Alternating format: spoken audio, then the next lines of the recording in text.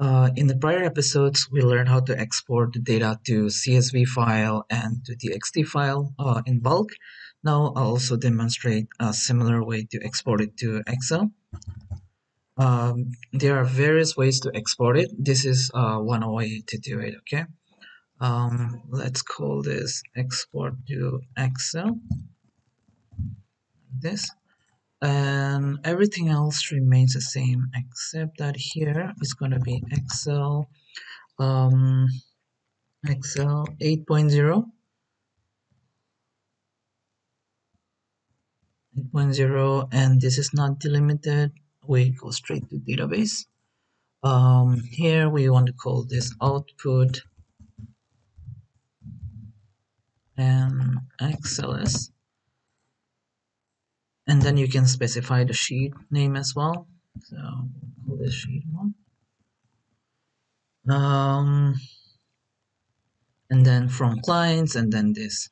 So similarly if you're exporting from uh, transactions table uh, in this example then you can also specify the name of the table um, and then your conditions. Okay.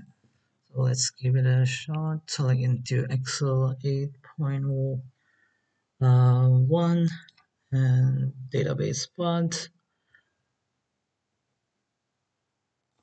gonna be like this.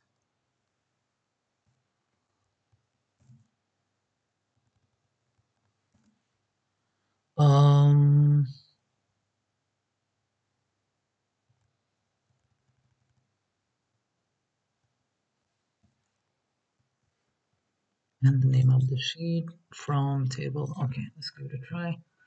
Uh, export bulk to Excel. Let's add a button.